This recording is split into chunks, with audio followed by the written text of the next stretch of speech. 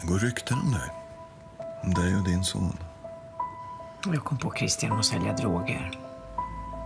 Han fick två års fängelse. Jag skulle inte tveka att göra det igen. Vad fan är det du inte fattar? Nu säger jag det för sista gången. Stick härifrån. Du ska slippa mig. Ett ord bara. Du gör mig jävligt besviken.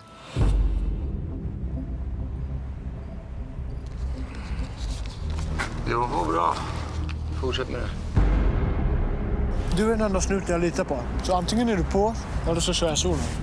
Kan du förklara för mig hur en familj kan vara så kriminellt avancerad och ändå helt flyga under radarn? Men det är det som är grejen. De är extremt tajta. De tänker du avslöja. Ines.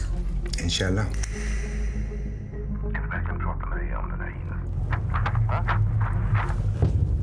Hallå?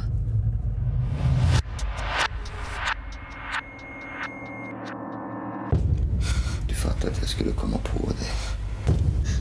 Du arbetar för familjen Mimitsson nu. Här finns bara en sak Christian, och det är sanningen.